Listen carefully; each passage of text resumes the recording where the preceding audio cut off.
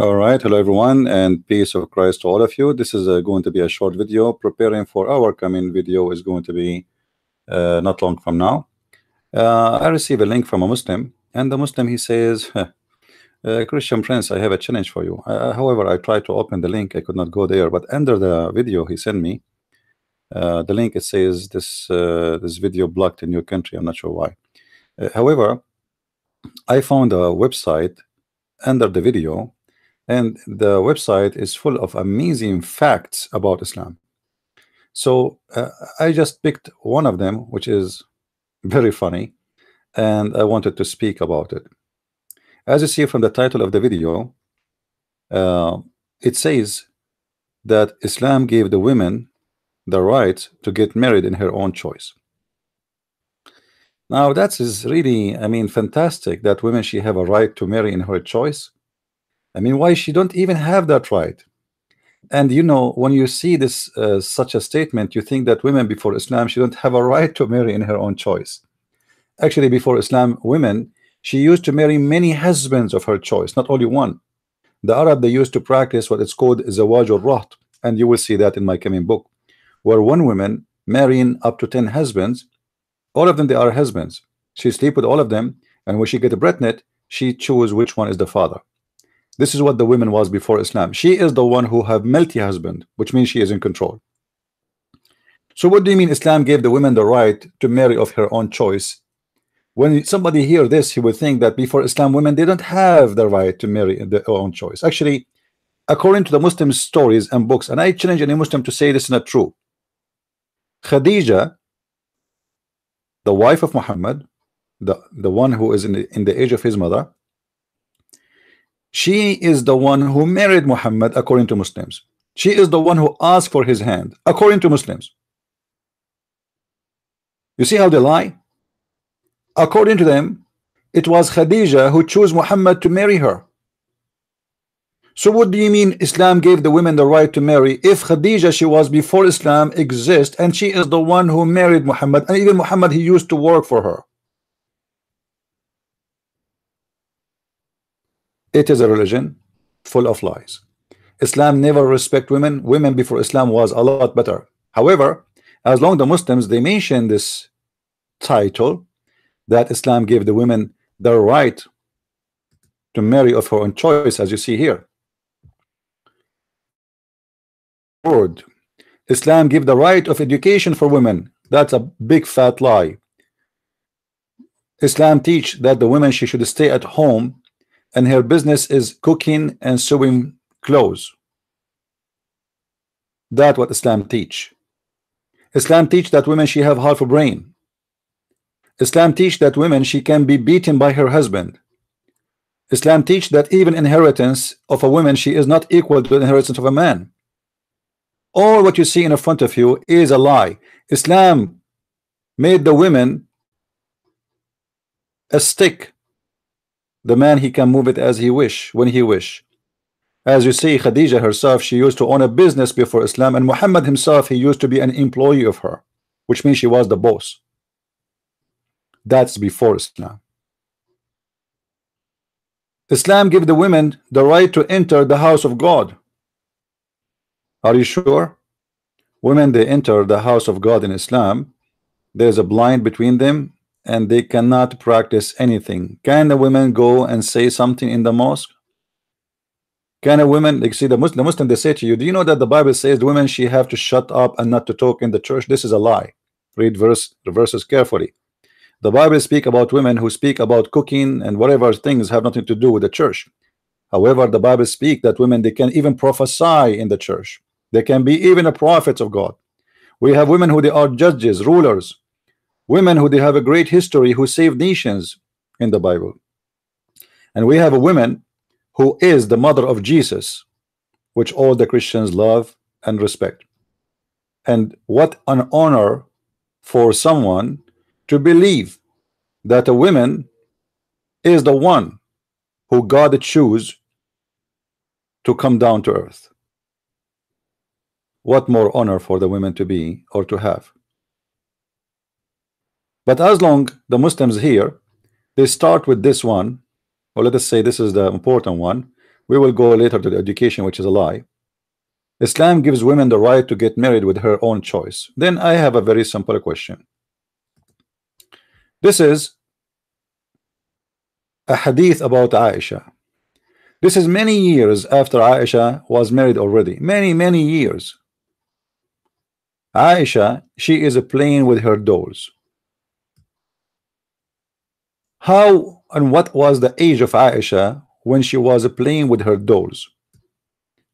If we go and search different sources we will find that Muhammad he did marry or rape Aisha when she was a child. Sahih al-Bukhari narrated the following. Aisha said that the Prophet married her when she was six years old Notice carefully that in their website they said Islam gave the women the right of a choice to marry what who she wish. What was the choice of Aisha to marry Muhammad? When Muhammad he decided to marry Aisha at the age of six, she was a woman. The funny in their website they say the women she have the right.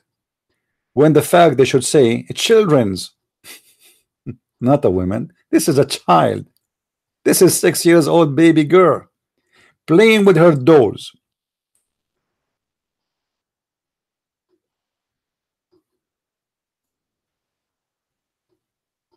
Where is the choice of six years old to get married?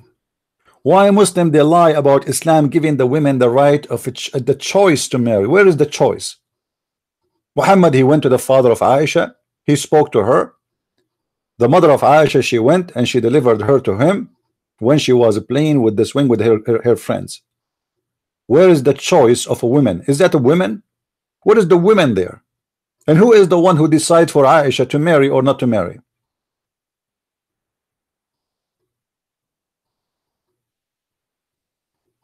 This is how they try to fool you with their statement, which is absolutely false, stupid, decorated sta statement. You know, they decorate Islam give rights. What rights? Women is, excuse, excuse my language, I don't want to be rude, but according to Islam, women is a piece of shit. She is dirty. She is a stupid. She have half brain. And she is the one who betrayed the husband. And most of women, they will go to hell. What do you mean right? What the right? Muhammad, he threat women that most of them, they will go to hell because they are half a brain because women are the same as Eve. They betray their husband as you see in the front of you. Muhammad he play or he claim that Adam is out of heaven because of the filthy Eve. If not Eve there is no woman will betray her husband. If not Eve where is the right and where is the and the funny they say to you Islam don't judge the person unless by his sin. So why you are judging women by the sin of Eve what about Adam? Where is Adam in the story?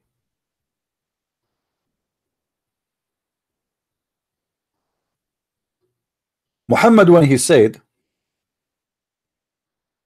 that you women are half a brain and you have a defect and this defect involve your brain and your intellect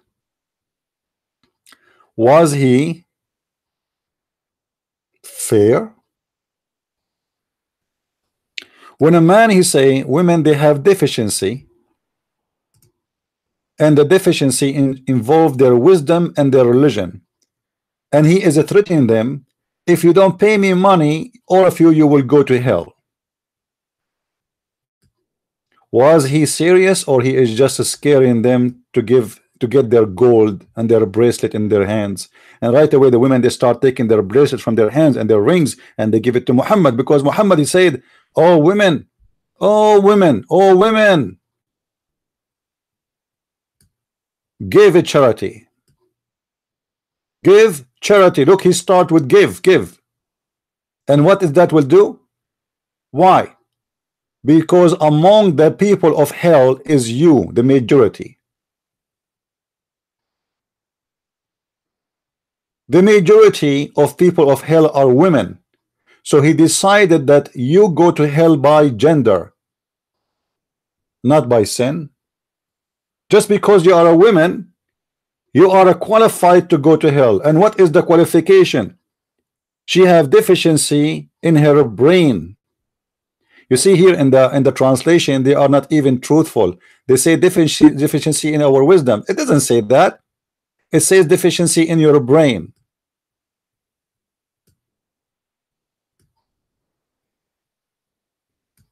it doesn't say you have a lack of wisdom. It doesn't say that. It says you have half a brain less brain. Your brain is not is not is, is not is not full. What is the right for the women? My friend remember the woman is your mother and my mother. Your wife your sister your daughter. She is not a piece of garbage and many women they are a lot more wise than many donkeys who claim to be men. Having a penis excuse my language between your legs does not make you wise. And having a vagina between your legs does not make you less than anyone. This is a stupid belief. Muhammad he promoted through centuries and Muslims today they treat women as a piece of garbage. They cover her to say to you oh we protect Muslim women. We you are not protecting women. You own them you are they are your slaves to keep them under control. So they cannot breathe they cannot see they cannot talk. Even Muhammad he said if a woman she refused to go to the bed of the husband the angels of God will curse her all night. But he himself he refused to sleep with Sauda bint Dama because she is getting fat and old. But the angels of God will not curse Muhammad for not sleeping with the women but of the women she is not sleeping with the husband who have many wives not only one yet the angels will curse her because she is guilty she is guilty she did not open her legs that is Islam. And this is what Muslims try to fool you and they don't want you to know. And I challenge any Muslim to say, I'm not telling the truth.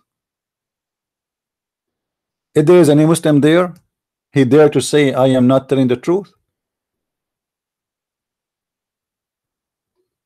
And imagine this man, this madman, he say clearly when they ask him, what is our deficiency? in religion and our intelligence? He said the proof of that that Allah he made the testimony of two women equal to one man. So women they have a defect. And it's very stupid of a person to say because they have a defect in their brain they will go to hell well isn't it Allah who made that defect if it is exist which absolutely false Imagine if I am God, I am Allah, I am the one who created the women, I am the one who made that defect happen, and then I'm going to punish the women because she have that defect. Who is the donkey here? Muslims, who is the donkey? Who is the one have a real defect? If Allah is the one who made women have a defect, how that is going to be a reason for them to go to hell? It is his defect. So if God did not make me smart, according to the story here, Allah will punish me, will send me to hell because I'm not smart. But it's Allah who made me that smart. What I can do? Who is the donkey? I hope donkeys are not listening because they will be insulted. They might even sue me. They say this guy, he is calling us that we are the same as Muhammad. I don't believe that a donkey exists in this earth he believed that women, female donkey, she have half a brain. I don't think he see her such a way. Only Muslim he see a woman in such a way. And not only in earth, she is not qualified to be equal to the man, even in heaven. In heaven, the women, she is not exist. She is just a sex toy.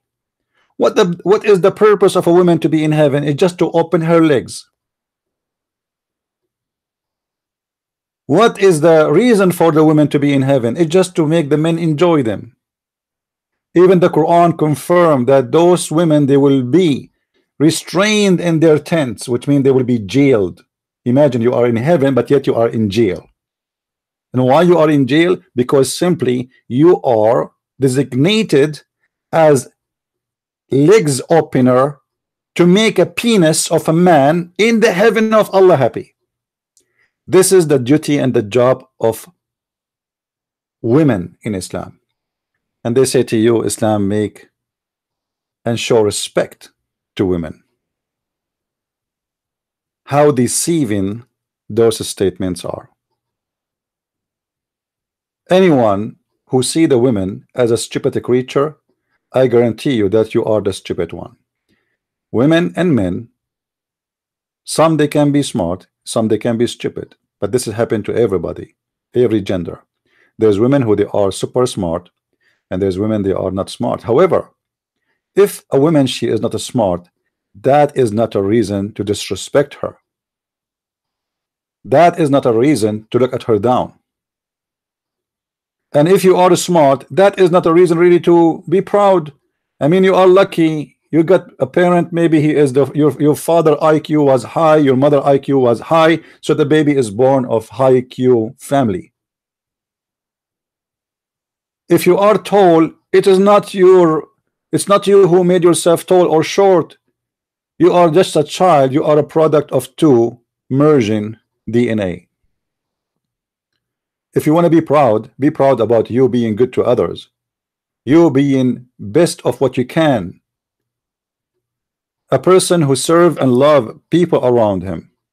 Not about what I inherited from my parents.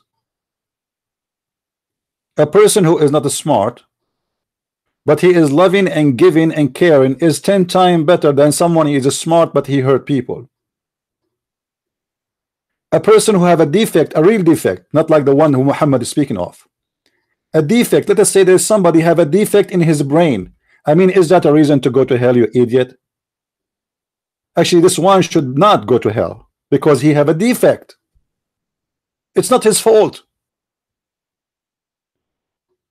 If somebody the Bible teach if somebody is not aware which mean he have maybe a problem or even he is smart but he do not know about God still God will judge him justly.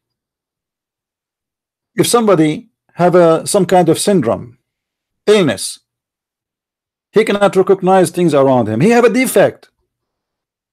That is a reason to go to hell? What a shame. This person is the last one to go to hell.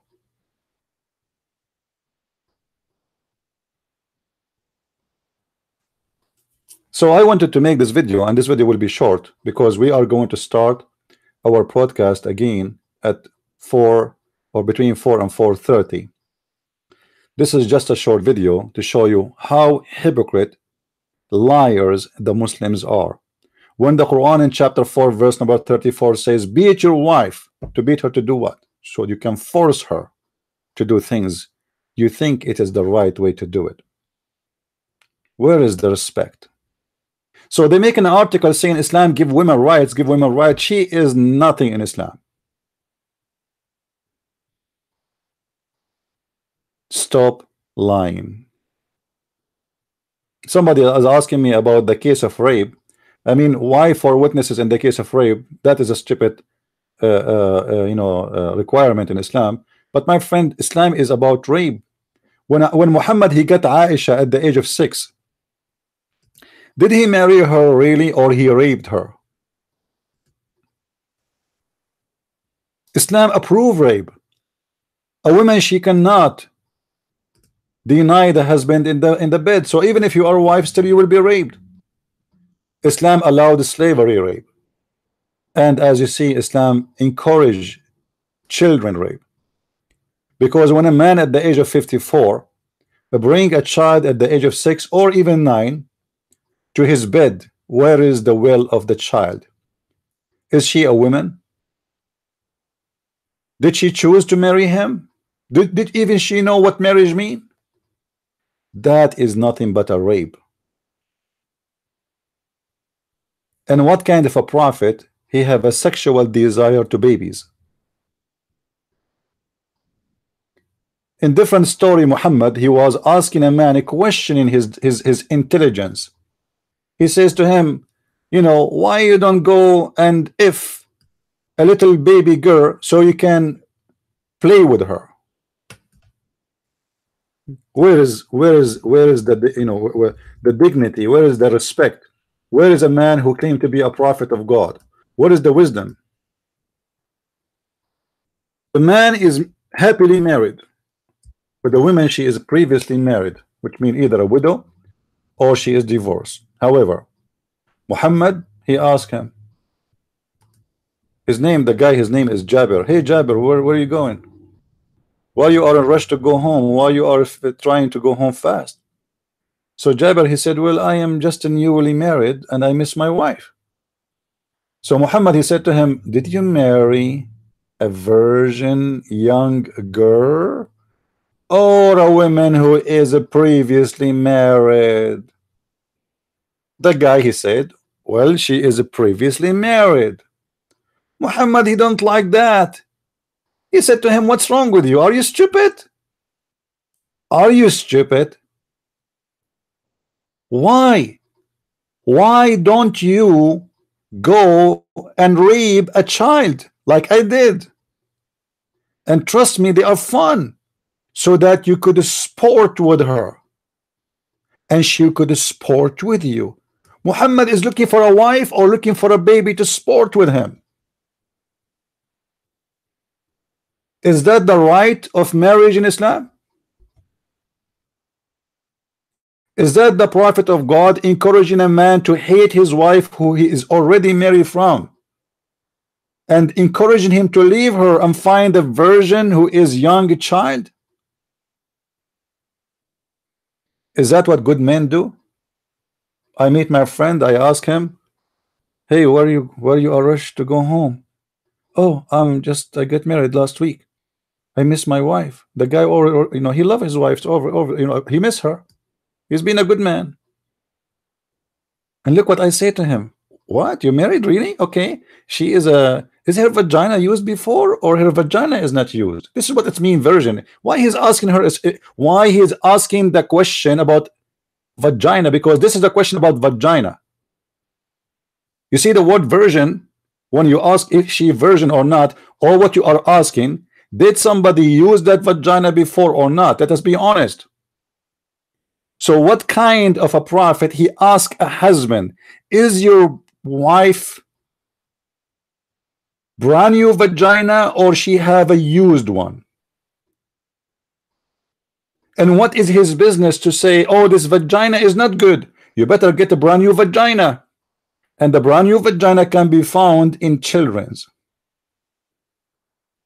Is that a prophet of God? Imagine Muhammad is the shrink of people who are, who, are thinking of divorce. Everybody will get divorced if Muhammad the shrink who take care of you. Because the first question he will ask you is your wife previously married or she was a new, new vagina? You say no, she is. Oh, divorce her man, go and get a brand new girl. Her vagina never been used, zero mileage. It's still the walks there. What kind of religion this religion is? Where is the right of this woman? Why Muhammad is destroying the house, the family of a man he is happily married with a woman she did nothing to him? What is the fault of this woman with Muhammad trying to destroy her house? Nothing. Except that her vagina is not a qualified for Muhammad. My friend, Islam look at the women as a vagina. Islam does not look at the women as a woman. That is the truth about Islam. Join us at between 4 and 4.30 we will start our podcast today again. This is a short video so you guys you can download it and share it around and may the Lord bless you all.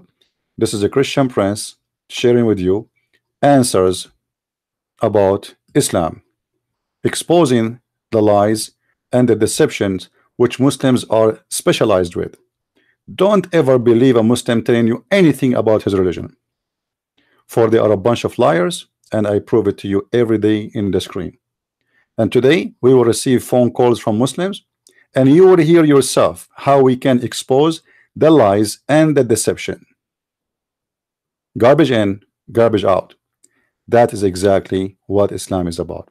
Thank you for being with us again. Join us again between 4 and 4:30. We'll start our podcast. Be with us, invite your friends, and tell everybody. Christ is Lord, Islam is false. And see you soon again. Thank you.